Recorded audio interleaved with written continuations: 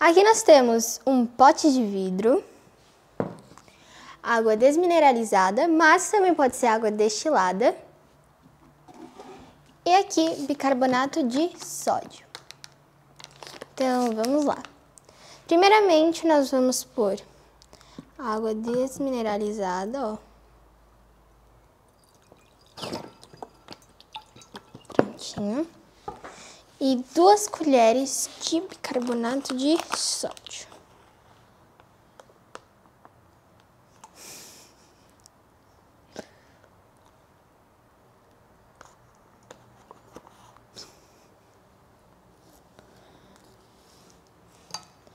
Dá uma mexida.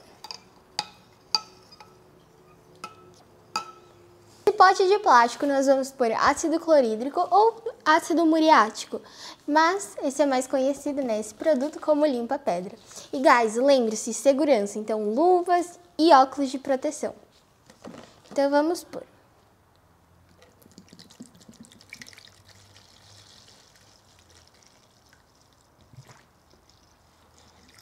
Bom, guys, sabe essa lapiseira de titânio que nós fizemos? Se você quiser saber como foi esse processo, clique aqui no card.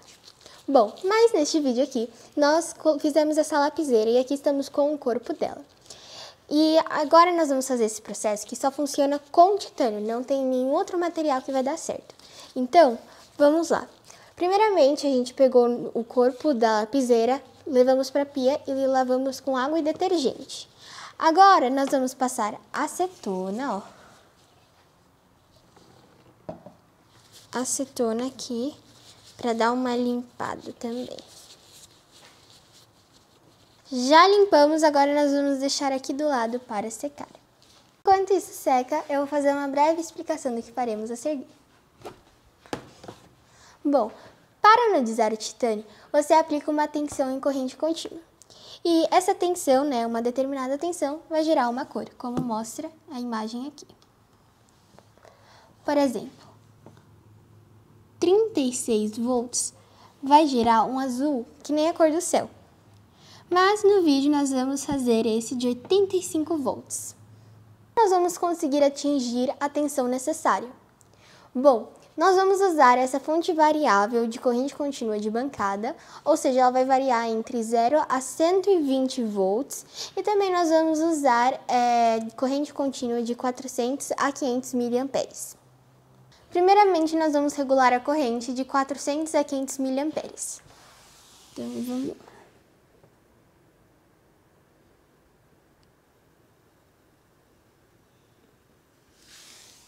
Bom, como a cor que a gente quer deixar é, precisa de uma tensão de 85 volts, nós vamos regulá-la agora.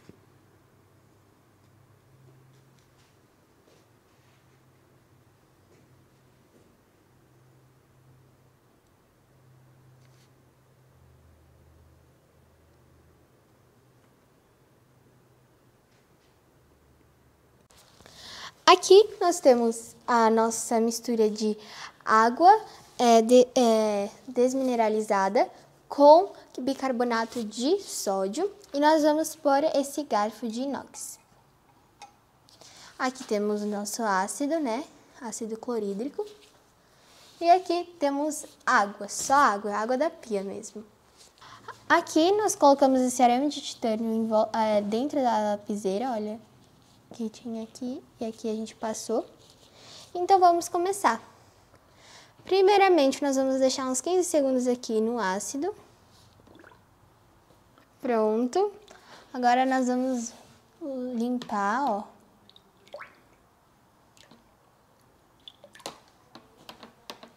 E aqui, gente, a gente não pode encostar no garfo, porque senão vai ter um, um curto-circuito e vai dar errado. Porque vai manchar a peça. Agora, nós vamos pôr o negativo aqui, ó, no garfo. E o positivo aqui no arame. E vamos ligar a fonte.